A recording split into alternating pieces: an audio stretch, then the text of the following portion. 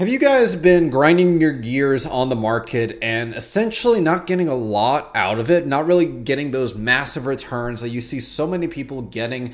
Have you explored options before and basically just gotten overwhelmed with the amount of options that are out there?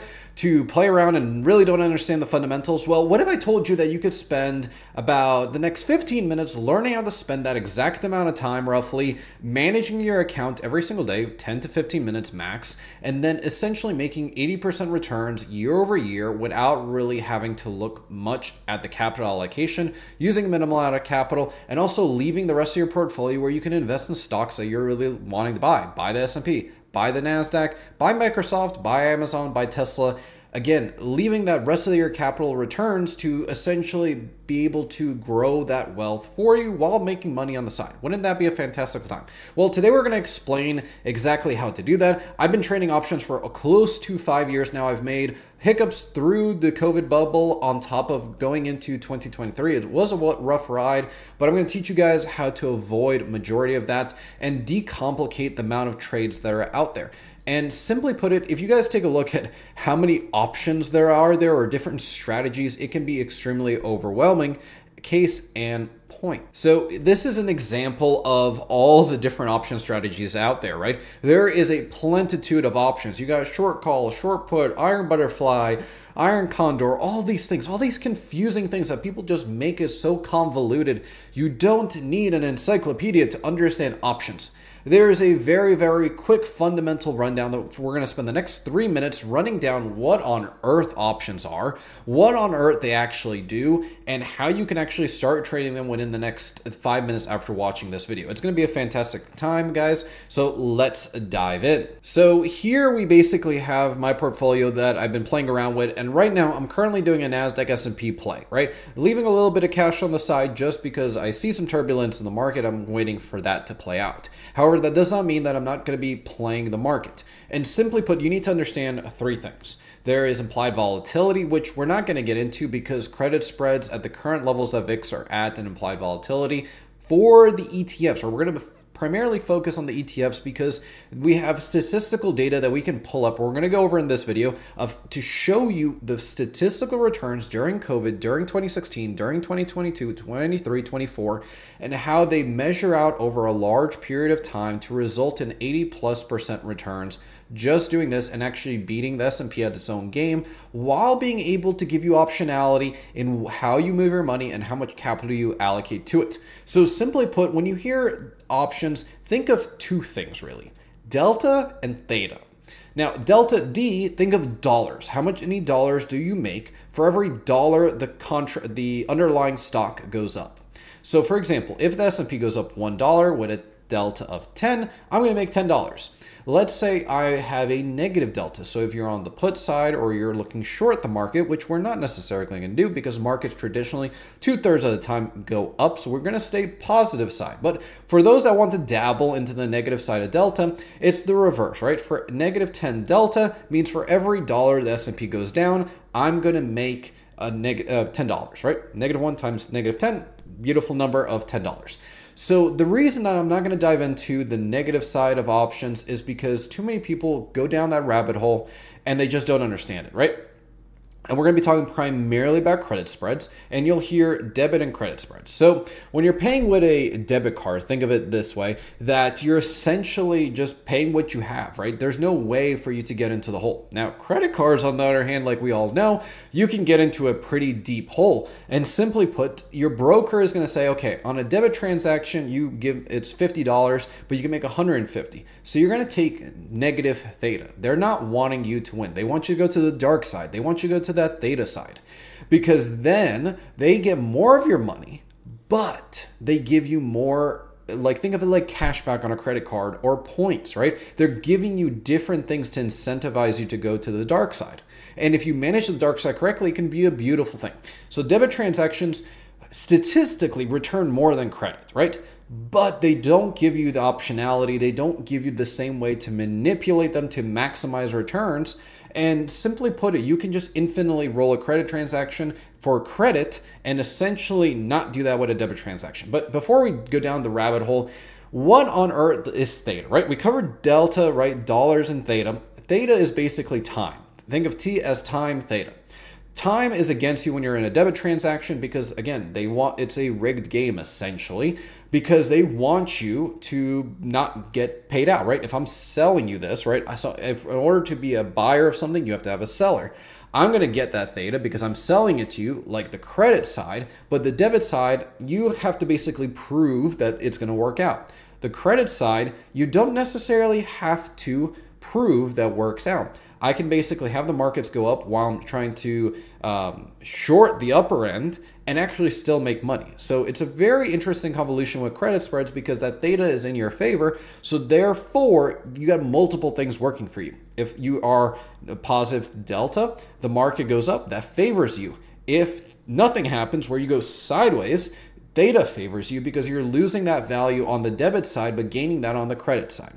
So right now on my account, I have the S&P and NASDAQ positions open with positive uh, theta of approximately $3. I'm going to get paid $3 every single day for nearly $1,500 worth of transactions.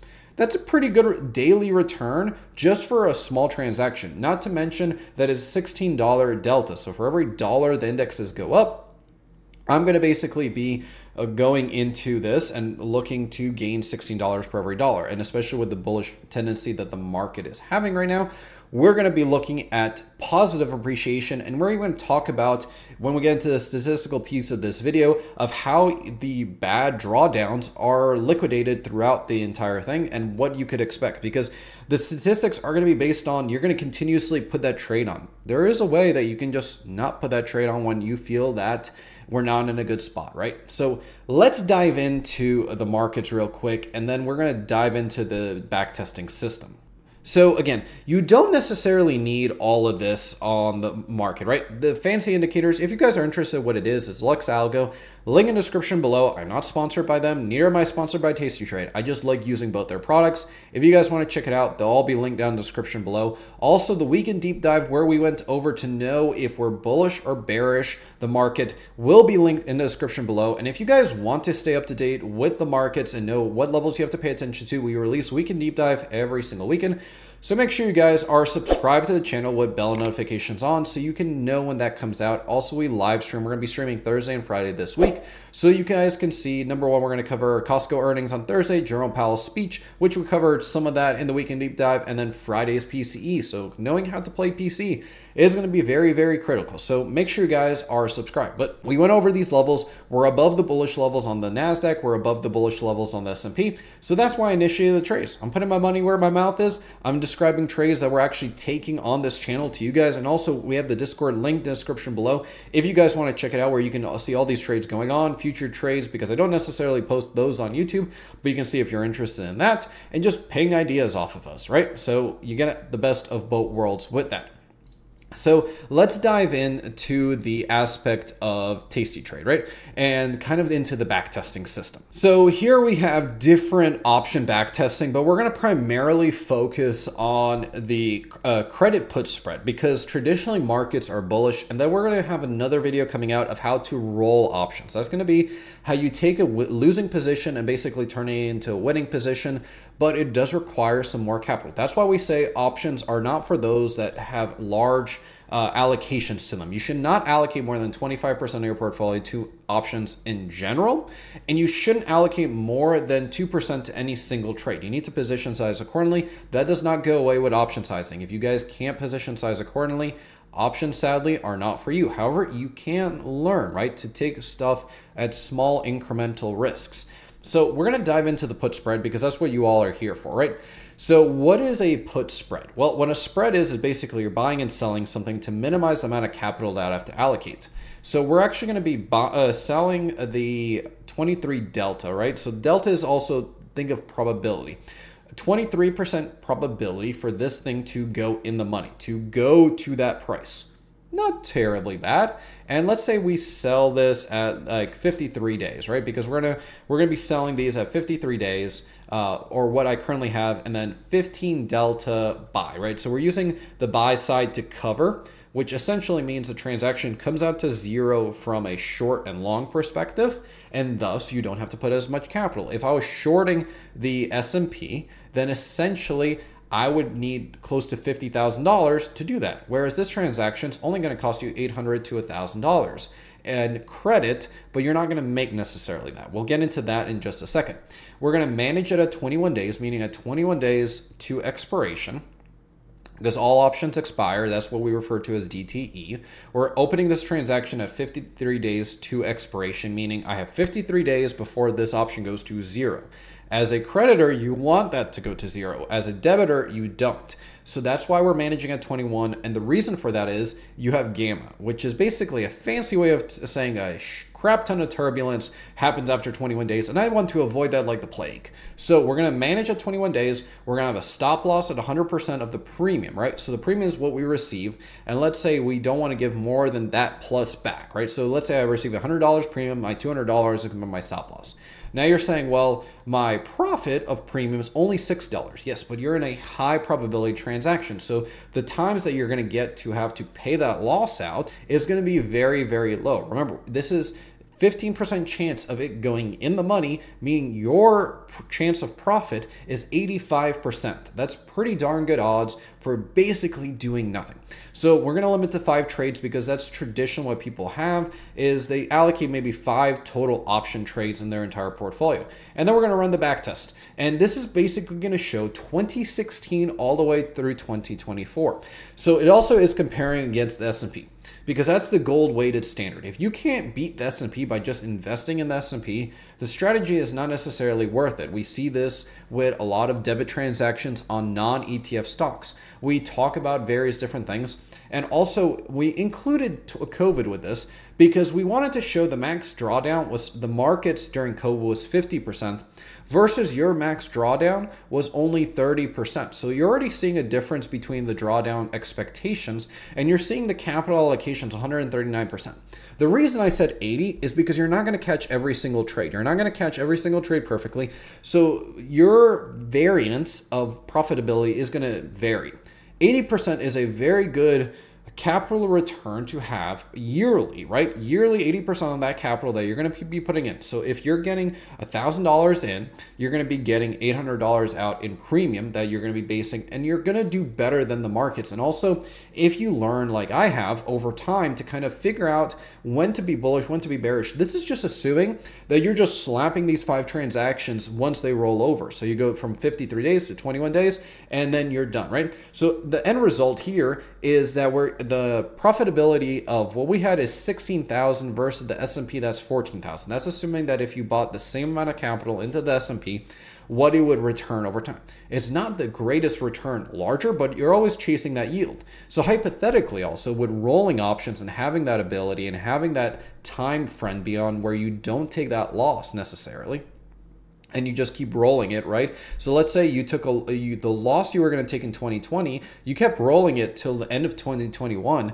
Well, congratulations, you made all that money. You never saw that drawdown, and that's going to be phase two of this series. We're going to talk about rolling options, but I really wanted to show you what the power of credit transactions were. Now we're going to run the same back test with flipping it, right? So let's say you're doing the same exact thing, and we're going to go to 21 days, right? We're going to say 21 days, and we're going to go and basically say we're not even going to exit as specific. We're just going to take profit at we're going to say 50% for the debit and then let's say we're going to do take profit at 50% or 100%, right? So 2 to 1 ratio of the same transaction here over that set period of time and why it's not necessarily the best option out there. We already start off and we're saying we're already in the hole. So debit transactions unless you're buying calls, right? That is the ultimate, it's basically leverage on leverage. However, there are times that that can go against you and you have to have a large account in order to continue that premium basically pushing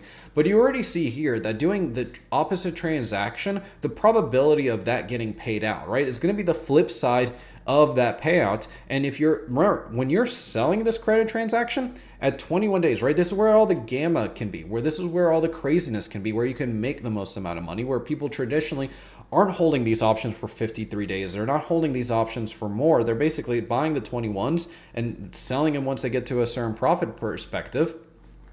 And you see here, you're just losing money holding it, right? The probability of this transaction going into the money at that point is extremely, extremely low. So you're just losing, losing, losing, and losing money on these debit side transactions because number one, theta is against you. Delta could be against you or, or for you, but it's not necessarily in your favor, right? So if you're buying the 23 Delta and selling the 15, there's so low probability of this occurring, you just result in a negative return. And as you can see here, even if you get, we pass COVID, we pass the craziness on the market, the market would be significantly more up than you are.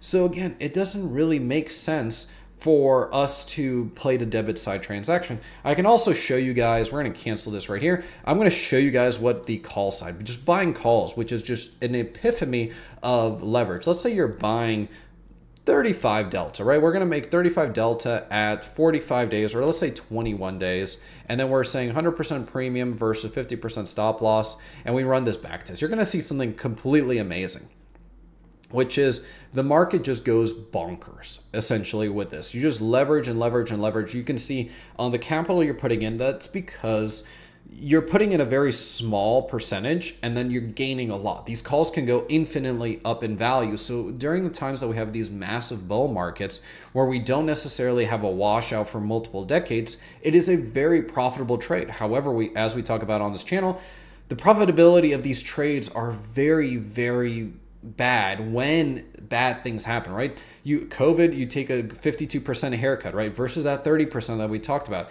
So you seeing are you willing to stomach that versus and then having to put more capital into the market in order to get that further return? Are you willing to allocate that, right? A lot of people will say yes, but they're not really up to the task when it comes to doing this. So if you guys want to know more about this, make sure you throw it in the comment section below of what exactly you guys want to see about options, right? What particular are you most interested? What wasn't the most clear? Also, remember we got the weekend deep dive link down below, the Discord uh, linked as well as some of the trading platforms along with LuxAlgo, all linked down in the description below, along with the weekend deep dive. So make sure you guys check it out. I will have the weekend deep dive queued up over here for you guys to watch, where you can know where to be bullish or bearish on the markets basically make more profitable trades Thank you all so much for watching, and I hope to see you in the next one.